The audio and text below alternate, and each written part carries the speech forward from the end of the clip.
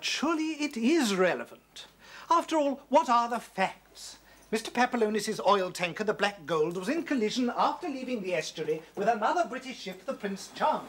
And the Prince Charming sank with the loss of four lives. Many were injured. Yes, yes. And now the relatives are demanding compensation. And not only the relatives. There's the owners of the ship's cargo of oil, the three local authorities whose beaches have been polluted, the owners of the Prince Charming, the salvage company, and... And the British government.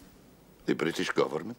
It's a punishable offence to discharge oil in prohibited sea areas. You see, it will take a lifetime to sort out. I disagree. But we have so many legal battles to fight. It comes to only one legal battle, Mr. Papillonius.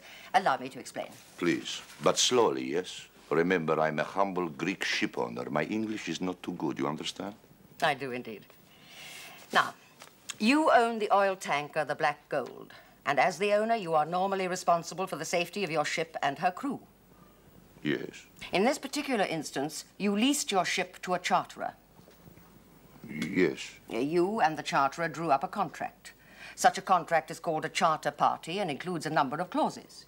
Yes. For example, we have the charterer stipulating that the captain would take his orders from him. And then there's this other unusual clause giving you the right to appoint the chief engineer and the radio officer. Yes, there are also other clauses. Uh, they needn't concern us at the moment.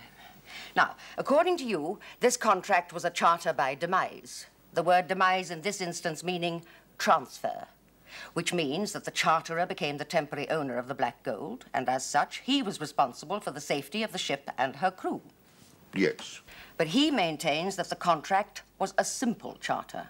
In other words, he merely hired the Black Gold from you. You, therefore, remained her owner, and as such can be held liable for any damages resulting from her collision with the Prince Charming. I understand. Good. Now, if we can prove that at the time of the collision you were not the owner of the Black Gold and held no form of control over her, it follows you cannot be held liable for any damages. Now, that's what I meant when I said we had only one legal battle to fight. If we win, that is. So you see the ownership and control of the Black Gold as the central issue? I do. But will the other interested parties? I'll be able to answer that when I've spoken to Mr. Wrighton. He's representing the charterer. Unfortunately, he's in court at the moment. She can't talk to anyone. I'm sorry, I'm not allowed to disturb her. Those were my orders. Good afternoon.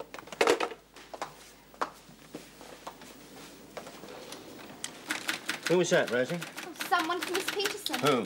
They didn't say. Did you ask? No. But you got their phone number. No. It could have been important. But you said no one was to disturb her while she was swatting up on her mercantile law. I meant you weren't to disturb her. You didn't say, Mr. Coletti. I should have thought that that was obvious, Rosie. Well, I'm sure if it's important, they'll ring back. See? Hello? Oh, yeah, uh, good afternoon, sir. Uh, yes, so I believe. I do apologise. It was a little misunderstanding. You know what temper is like. Uh, just a moment.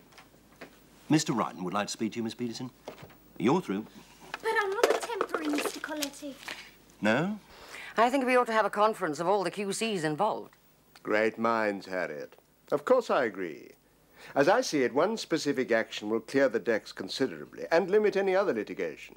And that action must be between you representing the ship owner and me representing the charterer.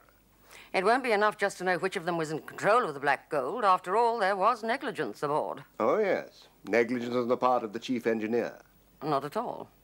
Negligence on the part of either the captain or the pilot. Would that be because they were my client's servants at the time? Whereas, of course, the chief engineer was undoubtedly the servant of Mr. Papillonius. Nonsense. He couldn't have been. Oh, I can see we are going to enjoy ourselves with this one. Well, the point is, will the other silks be prepared to await the outcome? We woo them together, shall we? In that case, we'll have the conference here. We make a better pot of tea. I bow to your superior Darjeeling, Harriet. Can I leave you to make the necessary arrangements? Excellent. Goodbye. Well, she's agreed to the battle order. All we have to do now is to neutralize this clutter of silks. And that won't be difficult. Because of her beauty and your low cunning? Or is it the other way round? Are you looking forward to acting as my junior? Very much. Strange that a woman should want to specialize in shipping law.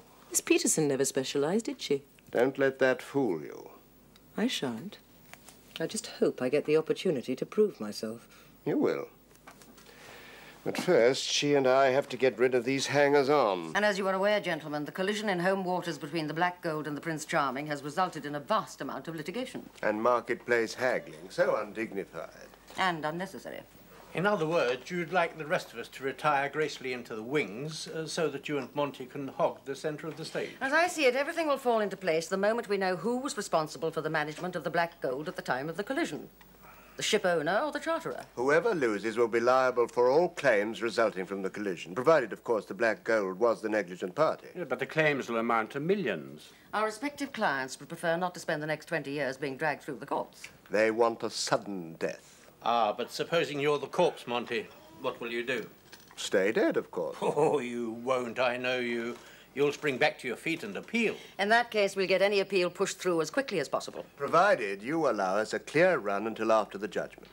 You're not going to take us by surprise and plead act of God, are you? Yes, that'd put paid to all future litigation. And leave us with egg all over our faces? I assure you, gentlemen, I shall not be pleading act of God.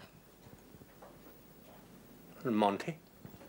I must say, such a Machiavellian tactic does rather appeal to my sense of humor. But no, let it be said here and now that the Almighty was unfortunately busy elsewhere at the moment of collision. Well, personally, I think that the action should be between Harriet and me. Why you? Because I'm representing the owners of the Prince Charming. We don't know yet that my client was in control of the Black Gold. It might turn out that my client was. So, what do the rest of us gain by waiting for the outcome? You'll know which of us to proceed against. Yes. I must say that makes sense to me. Hmm. I suppose it would simplify things. Then may the best man win, Harriet. He won't in this case, Monty. That's right, Harriet. Don't let him browbeat you. And for goodness sake, don't let him steal the limelight. Well, there's nothing she can do about that. I have my own portable spotlight. Then I just hope that you get Seaton as judge. and I have an excellent understudy in Fay Joyce. A woman? Yes. You're going to have competition, Harriet. Why? Is she that good?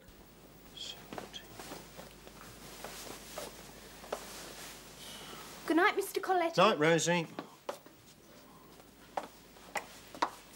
I'm not really a temporary, am I? Hmm? I mean, I've been here over a year now. How can I be a temporary? Or were you joking? Joking? When you said I was a temporary. Did I? Yes. I don't remember. Well, you Well, what about it? Well, it's been worrying me. You? Worry? Of course I worry. What have you got to worry about? About being a temporary. But you're not a temporary. Well, you said I was.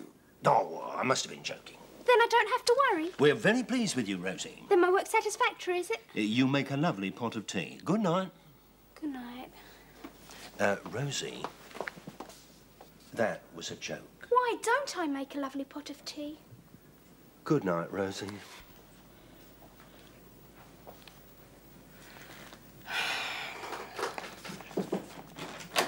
Uh, I'm off now, Miss Peterson.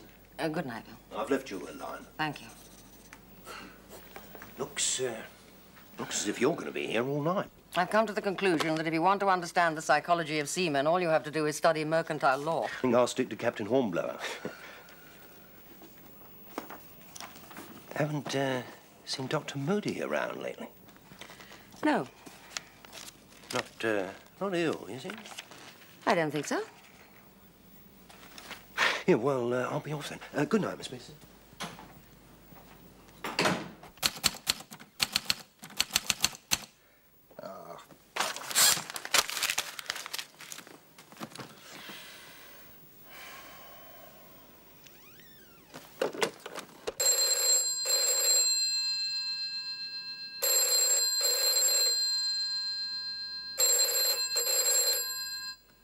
Come on, Harriet, come on.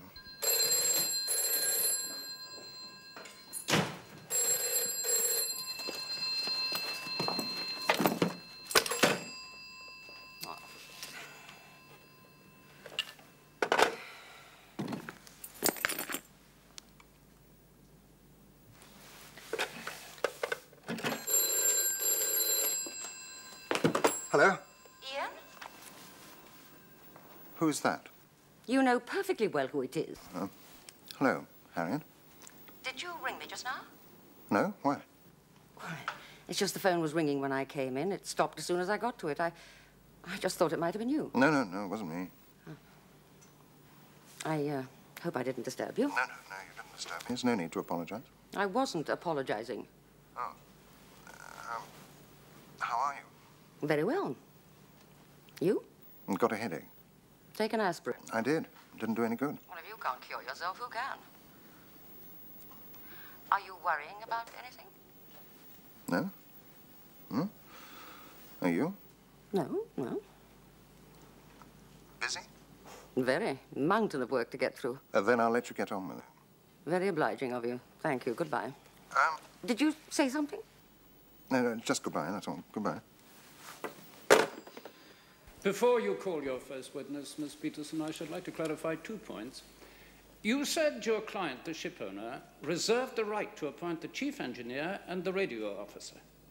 Uh, he exercised that right, yes? Yes, my lord. Remind me, please, why he had this clause inserted.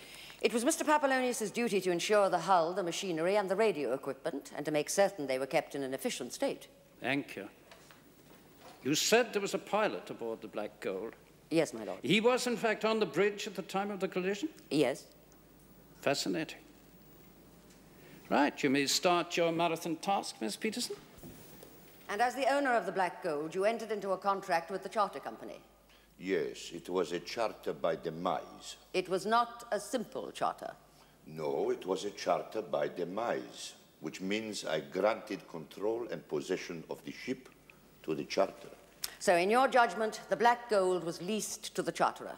Yes, because I had agreed not to interfere in any way with the management of my ship. Yet you did have a clause inserted giving you the right to appoint the chief engineer and the radio officer. Much damage can be done by inexperienced officers. I wanted to safeguard my valuable property.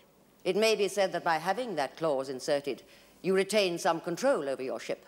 The man in control was the captain, no one else. Thank you.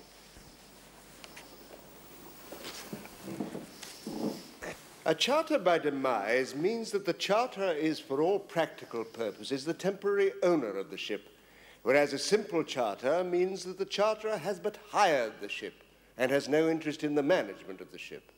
Why this lecture on the obvious, Mr. Wright? It would appear, my lord, that Mr. Papillonius does not know the difference between a charter by demise and a simple charter. I do charter. know the difference. My client will state that the charter party, the contract, was a simple charter, and that therefore the management of the ship remained your responsibility. No, because the captain was under the orders and direction of the charterer. But you had control over the chief engineer. No, he took his orders from the captain, who in turn took his orders from the charterer. It was agreed that you, as ship owner, would appoint the chief engineer.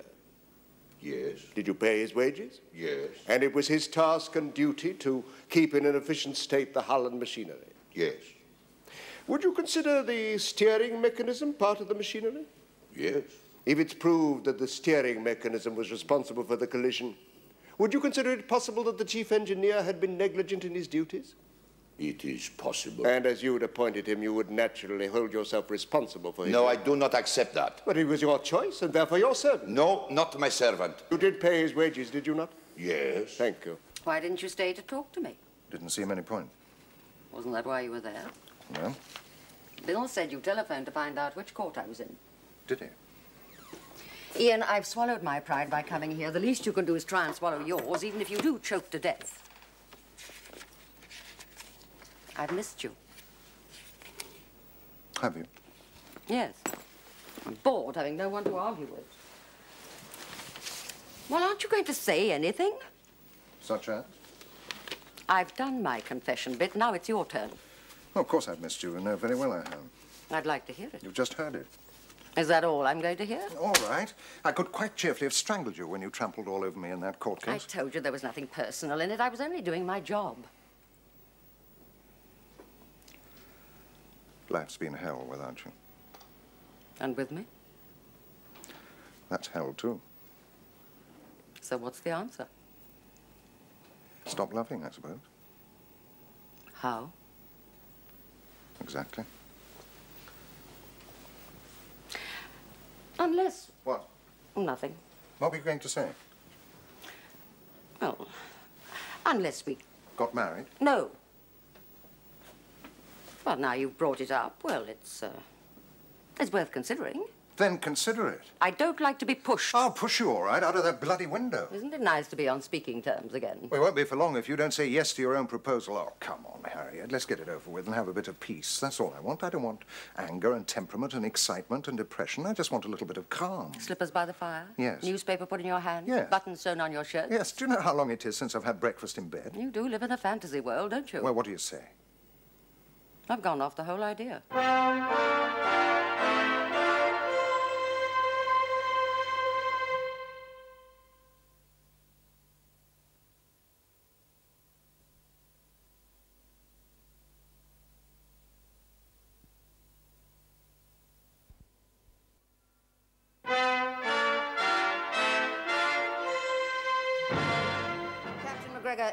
Capacity did you sign the bill of lading? In my capacity as the charterer's agent. You knew you were the charterer's agent. Oh, yes, I was told that I'd be under the direct orders of the charter company. Where were you when the collision occurred? I was on the bridge, alongside the pilot. He was navigating. Is it normal procedure for a pilot to navigate the estuary? Oh, yes, yes, because of uh, natural hazards. And beyond, you see. It's compulsory. Does that mean the pilot was not a servant of the charter company? No, no, no. He was indeed a servant, Miss Peterson. The defense of compulsory pilotage was abolished in the Pilotage Act of 1913. That act provided that the owner or master of any vessel navigating under circumstances in which pilotage is compulsory shall be held answerable for any loss or damage caused by the vessel or by any fault of the navigation of the vessel. But then I'm sure you knew that. Momentary mental aberration, my lord, but I thank you for reminding me. It's helped me to recall Workington Harbour Board and Towerfield. Yes. That action was heard by the Lords in 1951. Or was it 1950, my lord? Was it? Yes, you're right. Well, I'm glad I've been able to remove your mental aberration, Miss Peterson. And I yours, my lord. Please continue. Who was in command of the ship at the time? I was. The pilot simply acts as an advisor. The Nord, 1916. You were therefore in control of the ship. Uh, well, it really amounts to a sort of divided control. The pilot is there to advise, but the captain can disregard that advice. It depends on the circumstances. But there is no doubt in your mind that both you and the pilot were servants of the charterer from the moment the Black Gold sailed. I have no doubt of that at all. Please tell the court in your own words the sequence of events leading up to the collision. Well, the two ships were approaching each other on converging courses. My ship and the Prince Charming. Now, the Prince Charming had us on the starboard bow. Now, that means it was their duty to keep clear, and it was our duty to keep our course and speed. However, the Prince Charming didn't keep clear, didn't change course. And when the two ships were relatively close to each other, the pilot suddenly asked for a sound signal to be given to indicate that we were going to change course. He then ordered my ship to starboard. Now, he did this without asking my advice as to the relatively slow steering capability of the Black Gold.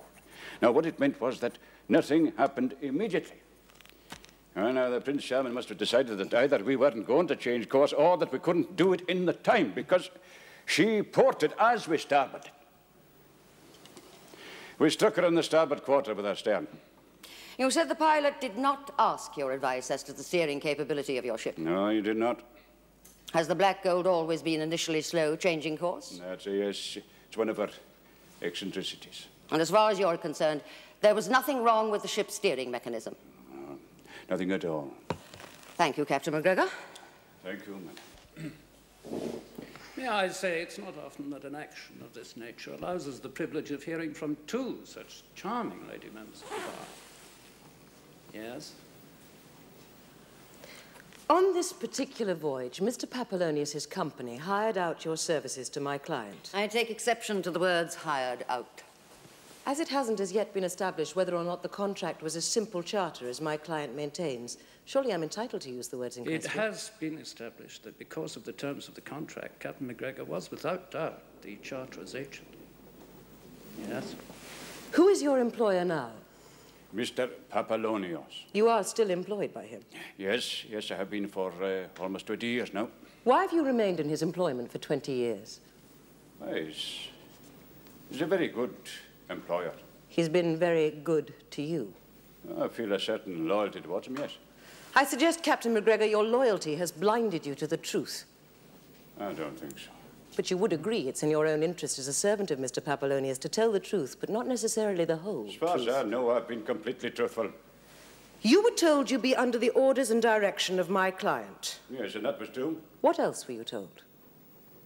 I was told there would be a clause exempting me from liability for any accident of navigation. So, if it's proved that there was any accident of navigation, Mr. Papillonius, your employer for 20 years, would not be liable. That's right, the charterer would. It would therefore be to your employers and your mutual advantage if it could be agreed that it was an accident of navigation that caused the collision. Yes? Did you know that the chief engineer was appointed and paid by Mr. Papillonius? Oh, yes. Something else you forgot to mention. No, it's just I wasn't asked. Did you know the chief engineer? Well, we've sailed together on and off for about 12 years. Are you good friends? Yeah? Loyal friends? Yes. Is he, like you, still employed by Mr. Papillonius? That's right, yes. On the day of the collision, was he responsible for the ship's steering mechanism? There was nothing wrong with the steering mechanism. Are you a qualified engineer? No. You said the pilot suddenly asked for a sound signal to be given.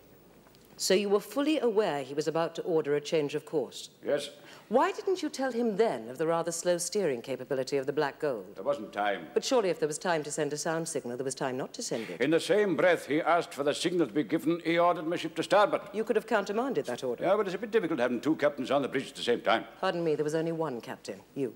The control was divided. There was only one master, you. Why didn't you countermand the order? The maneuver would have been quite safe if the Prince Charming hadn't ignored our sound signal. In other words, you'd have given a similar order. Uh, I don't know. But you agreed with the pilot's decision to change course. You don't seem to have any understanding what it's like. You're on the bridge, eh? You've got two ships bearing down on each other. There's no time to agree or to disagree. You've got to do something and something quickly. You, you've got to act without thinking. Are you now saying you didn't think about your ship's rather slow turning capability? Oh, yes, I did think about it. Then why didn't you countermand the order? I wake up in the night asking that same question. What answer do you give? There's no answer. I don't know. I suggest you gave no thought to the turning capability of your ship. Oh, I did. You fully expected her to start her maneuver much earlier. No. That is the reason you didn't countermand the pilot's order. No, no, no, that's not true. I suggest that your ship did not normally have a rather slow turning Yeah, but she capability. did. I suggest she did not respond sooner because of a fault in the steering mechanism. Uh, No. No, no. I'll not have that said. Do you wish to re-examine Captain McGregor? No, my lord. In that case, I shall adjourn until 10.30 tomorrow morning.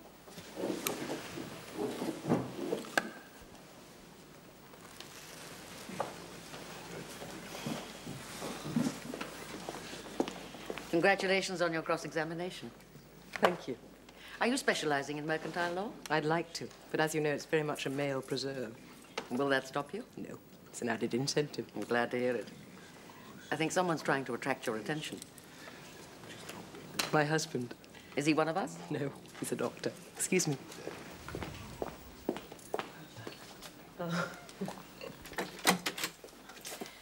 I hope they allow her to specialize and don't dig in their manly heels. Why all this interest in a woman barrister? It's just she reminds me of myself at that age. How many years ago was that? You're as romantic as a haggis. She's even married to a doctor. So could you be. I know. And I've been giving it a great deal of thought. What, since you went off the idea? Yes. I think it could work, Ian. Of course it could work. I've always said it could work. Well, I'm agreeing with you.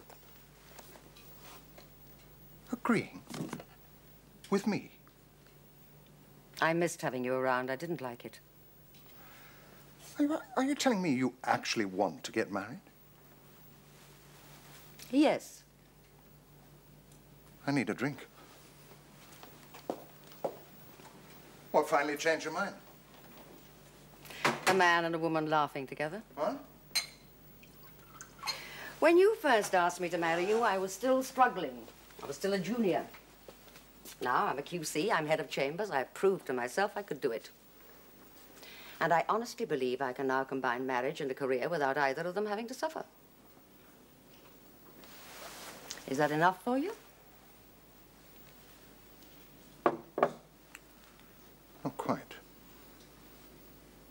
and because I love you. That's better.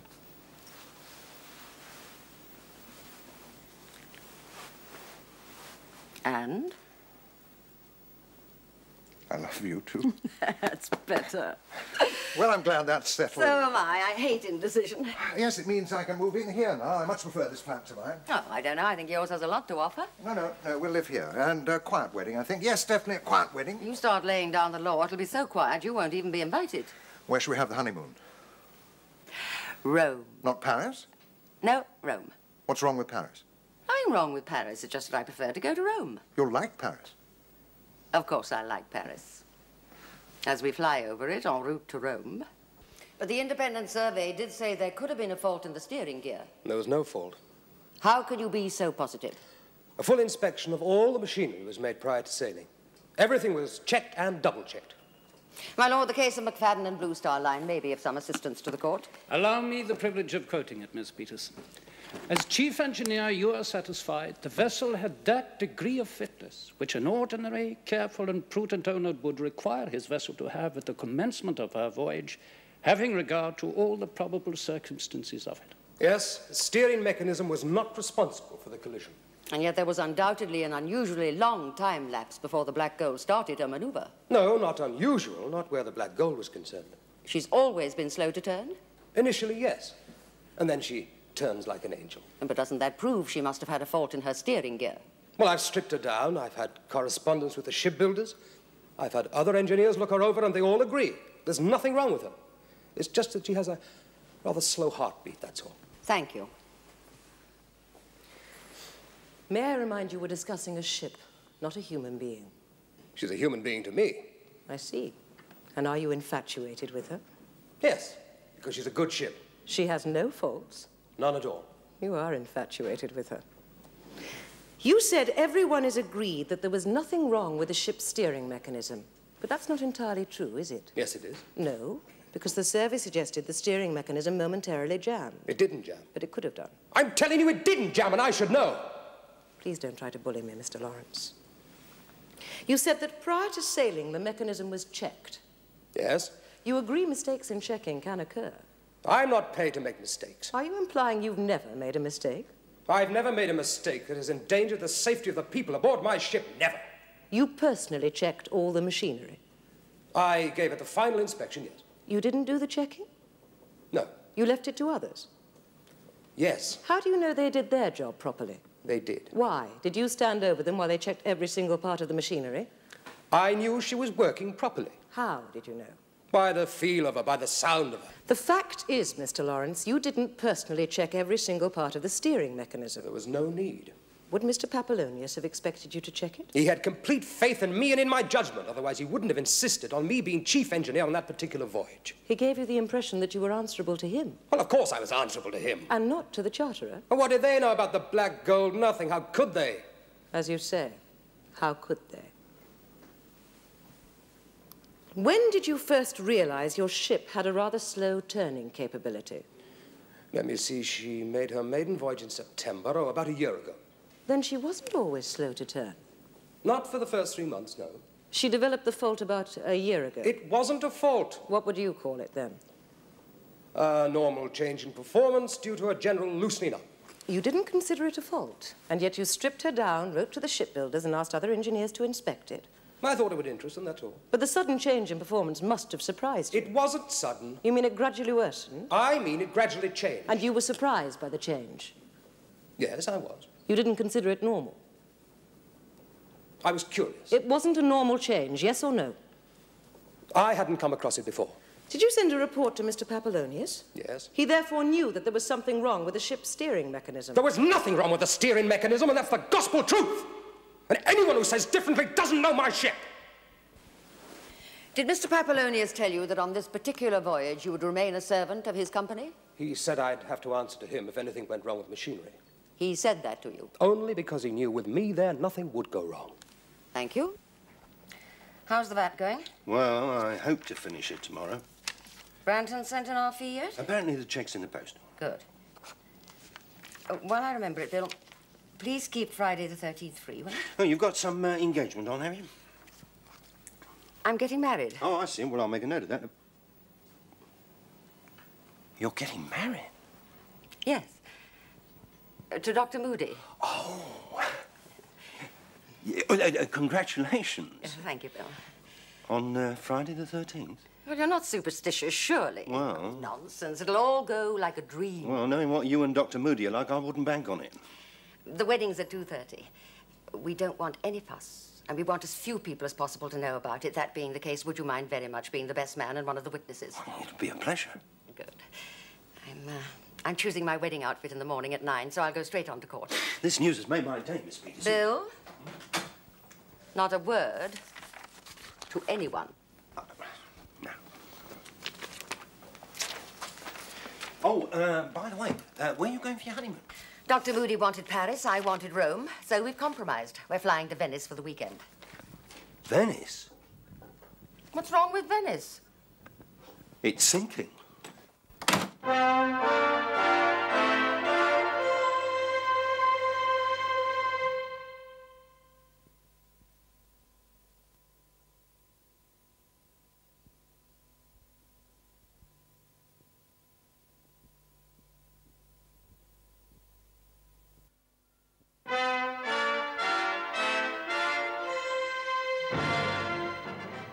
been managing director of this charter company for nine years, and I know what I'm talking about. It was not a charter by demise. Uh, Mr. Feltham, there was the clause in the contract regarding provisions and wages. Yes. There was the clause regarding any accident of navigation. Yes. There were the bill of lading provisions. Yes.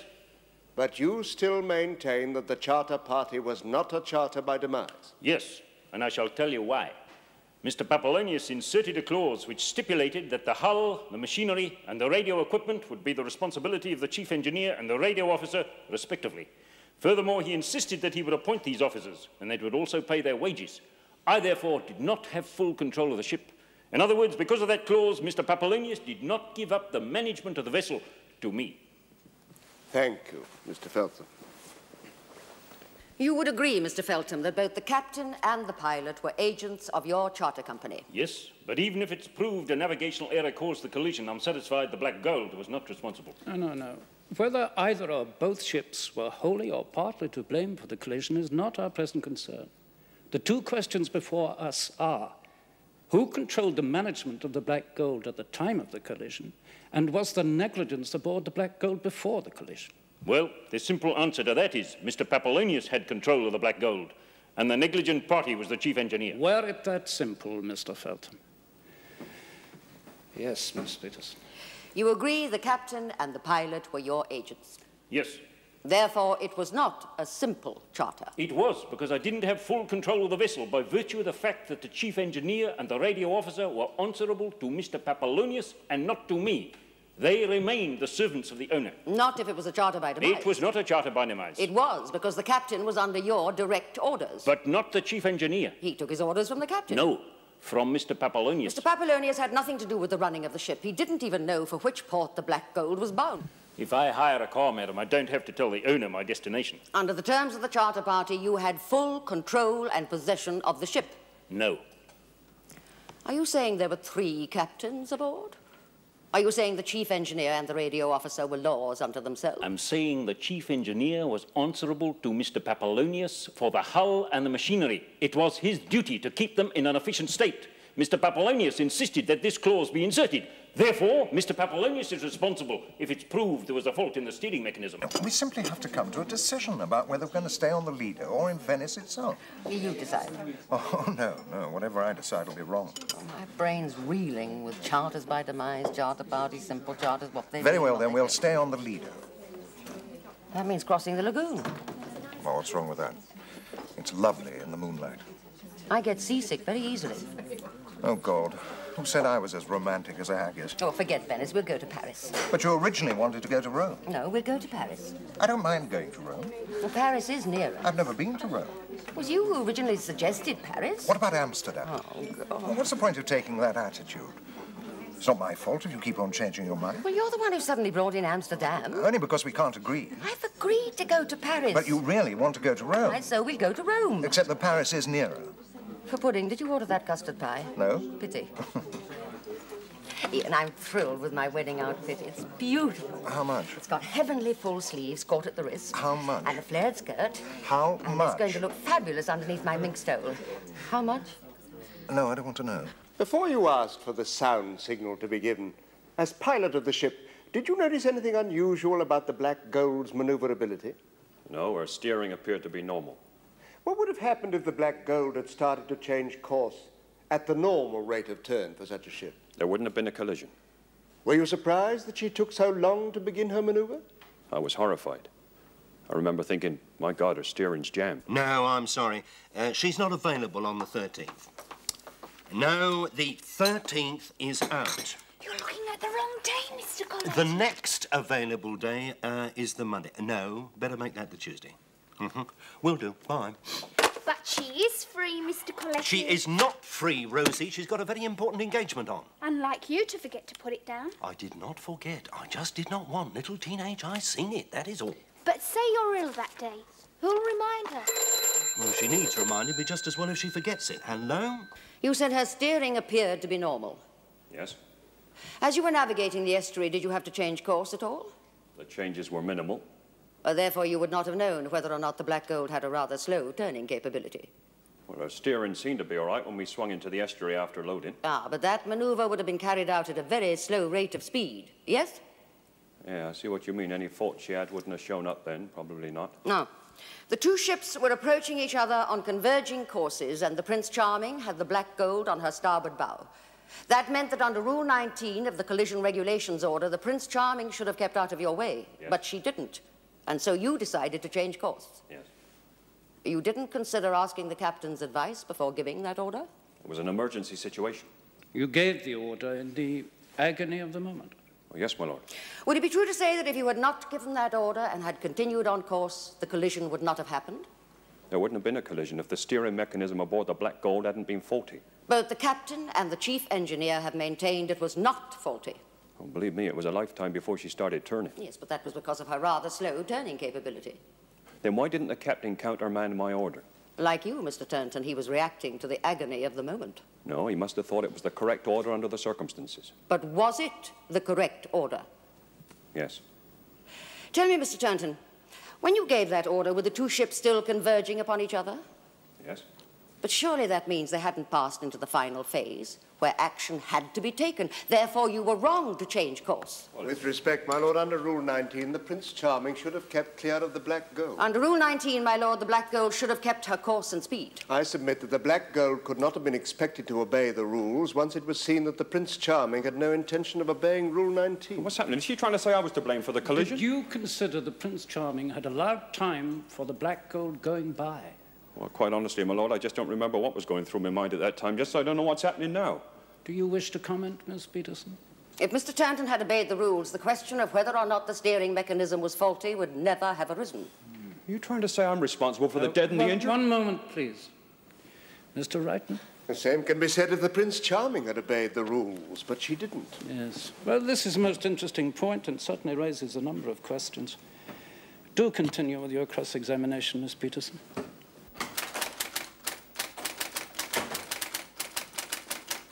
Bill? Uh, yes, Miss Peterson? What have you been up to, Rosie?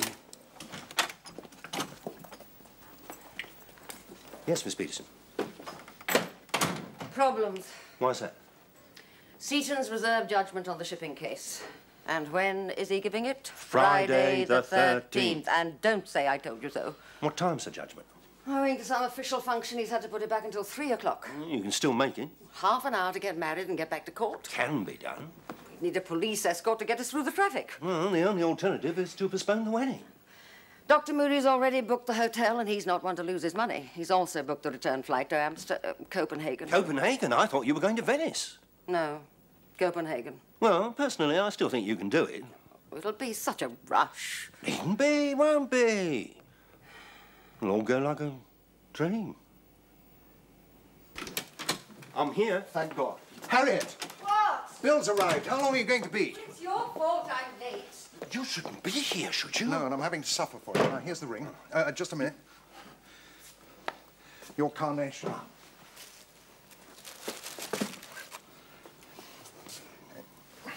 We're never going to make it. Harriet! Coming! Did you tell the taxi to wait? Yeah, well, uh, after the ceremony, he's going to take you to the court and then on What to if they're the running late at the registry office? Yeah, no, they won't be. Uh, I've checked. They'll see you married at 2.30. That is if we're there by 2.30. I'd have been ready ages ago if I hadn't had to iron his shirt. There was nothing wrong with my As if shirt. he'd slept in it. I only bought it this was morning. terribly creased. You're, uh, you're looking very lovely, if I may say so, Miss Peterson. How sweet of you, Bill. Thank Except you. Except I thought we were going to a wedding, not a funeral. I have to wear this. Will you be wearing your wig as well? I haven't time to go to the robing room, have I? I'll have to get ready in the taxi. Couldn't you have hidden that very expensive wedding outfit underneath your gown? Only a man could make such an idiotic suggestion. That's 150 quid down the drain, you know. Oh, have I remembered my bands? have I put in my... You're, you're well, Miss Peters. Am I? Oh, yes, so I am. Ian, what are you doing? Pouring myself a drink. Does a drink get rid of irritability then? It helps. In that case, I'll have one. Bill? Uh, no, thanks. Uh, I'm not feeling irritable. You would be if you'd had a brand new shirt ripped off your back. I swear all she did was iron in fresh creases. Have you got the flight tickets? Of course I've got the flight tickets. Don't forget the front door key. Now, why should I forget the front door keys? Here, hurry up and drink this or we shall be late. No, we shan't. Yes, we shall. It's 5-2 already. I make it ten to. You're slow. You're fast. No, I'm not. What, What do do you, you make, make the the time, time? Bill? Well, if you don't mind, I'll just keep quiet. Yes, that's what I should have done. Here, here. Now, don't start. Who's starting? You are. No, I'm not. Yes, you are. Oh, no, I'm not. Yes, you are. I call upon these persons here present to witness That I, Ian Donald, do take thee, Harriet Joan, that I, Ian Donald, do take thee, Harriet Joan, to be my lawful wedded wife. to be my lawful wedded wife. I call upon these persons here present to witness I call upon these persons here present to witness that I, Harriet Joan, do take thee, Ian Donald, that I, Harriet Joan, do take thee, Ian Donald, to be my lawful wedded husband. to be my lawful wedded husband. Do you hand the ring to the groom.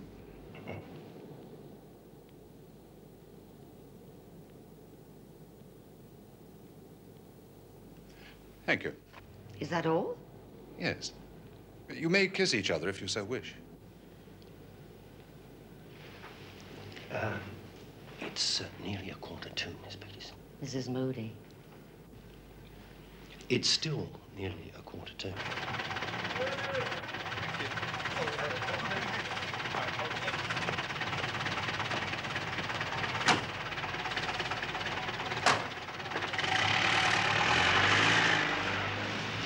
much time have we got? Well, you'll make it all right. What a way to start a honeymoon. My false seat and reserved judgment. No? What do you mean, no? You've got six minutes. Perhaps your arguments weren't persuasive enough. Quite a smooth ceremony, I thought. Usual, you don't know what you're talking about. What, me? No, him. Oh, yes, I do. No, you don't. Yes, I do. Yes, well, I hope you'll both be very happy. The two questions to be answered are Who was in control of the Black Gold on the day she was involved in a collision with the Prince Charming? The ship owner or the charterer? And who aboard the Black Gold, if anyone, was the negligent party? The captain, Captain McGregor, was without doubt under the orders of the charterer. That made him a servant of the charterer. It therefore follows that the pilot, Mr. Turnton, was also a servant of the charterer. However, the ship owner insisted on retaining the services of the chief engineer, Mr. Lawrence, and furthermore, paid his wages. By so doing, did the ship owner retain control over the hull and machinery. It was argued, and argued most eloquently, that the ship's steering mechanism caused the Black Gold to collide with the Prince Charming. That if the said mechanism was faulty, the ship owner and not the charterer would be liable. Let us examine the facts. About one year before the collision, Mr. Lawrence said he noticed a change in the turning capability of the Black Gold. He stripped her down, had correspondence with the shipbuilders, had other engineers look her over. He also sent a written report to the ship owner. Everyone agreed there was nothing wrong with her. Furthermore, the defendant was not able to prove that during that year a single accident occurred, a single problem arose, a single complaint was filed with regard to the turning capability of the Black Gold. It is my belief that her turning capability did not constitute a fault and that the chief engineer was not negligent. I also believe the ship owner, Mr. Papillonius, rightly and properly insisted on appointing the chief engineer as much in the interests of the charterer as in his own. The rights he retained can be compared to those exercised by owners of leased property. It is my considered judgment that the Charter Party was a charter by demise and that there was negligence on the part of both the pilot and the captain. The pilot for not obeying the collision regulations and the captain for not countermanding the pilot's order to alter course. The charterer, as temporary owner of the black gold, must be held responsible for their negligence. I therefore give judgment for the plaintiff, Mr. Papillonius. Costs, my lord? Costs for the plaintiff.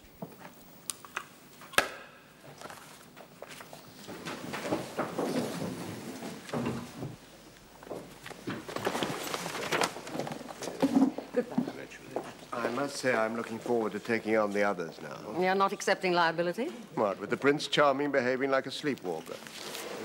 It's my turn to congratulate you. You see you specialize. Don't be fobbed off. Someone's trying to attract your attention. Yeah. My husband. Has he been to a wedding? His own. Well, Copenhagen, here we come. Ah, uh, no, we're not going to Copenhagen. We're not? No, Where are we going then? Bognor Regis? no. Rome. Rome?